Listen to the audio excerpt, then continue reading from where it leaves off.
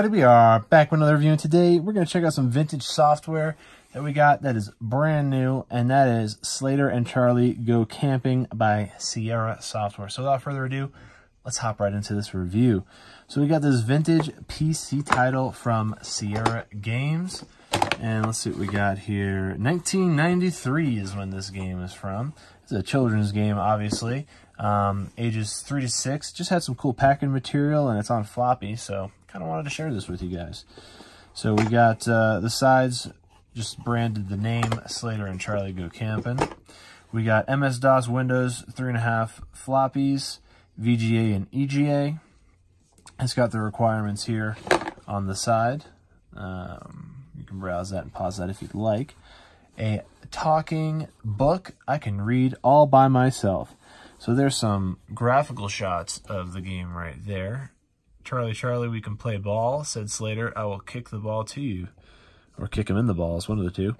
And then we got uh, some more action shots here. There's some fishing shots, some camping. Looks like a beehive, some mushrooms.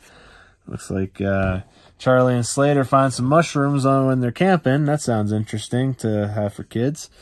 Um, so you got Windows compatible, so I guess you could actually um, play this on 3.1, I imagine. Maybe 95. It is from 93, so maybe you can play it on Windows 95.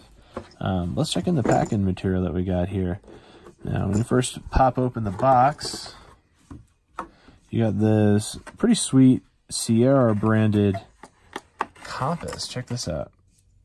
Nothing high quality or anything, but definitely something that isn't around right now, readily available. We have the Sierra logo in the center of this little cheap plastic made in Hong Kong um, compass. So let's see. Does that actually work?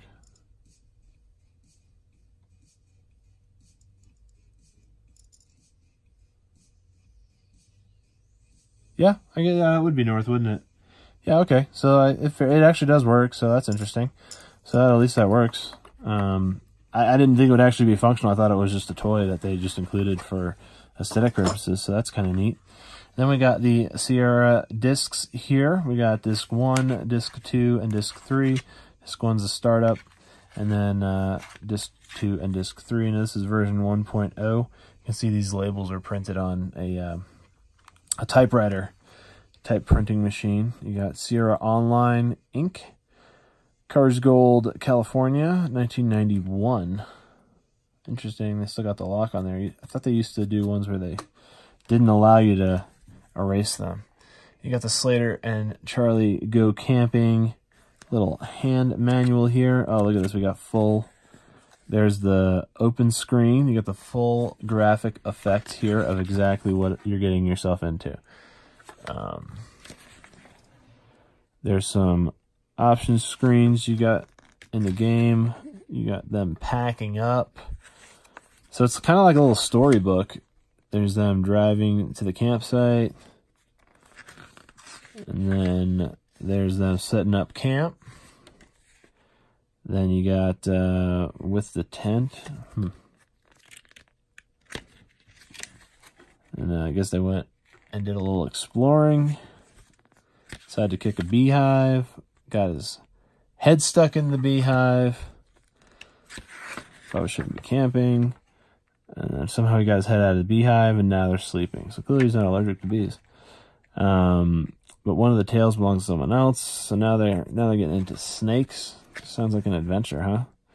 Now they're catching fish. Looks like they went hiking.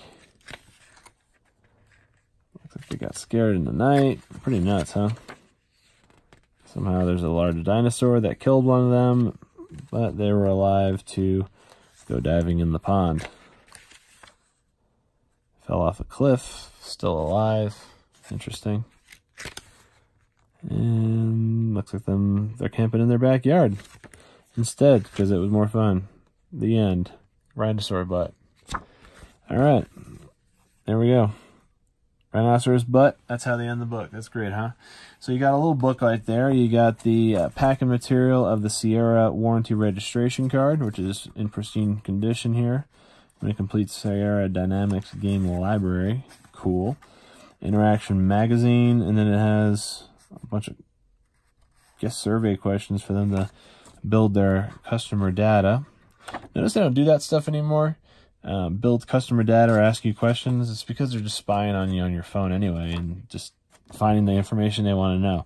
They don't need to ask you anymore because they're just getting it from you no matter what. So then you got um, this packing material, which is due to a print error. Some of the information with the technical manual is incorrect.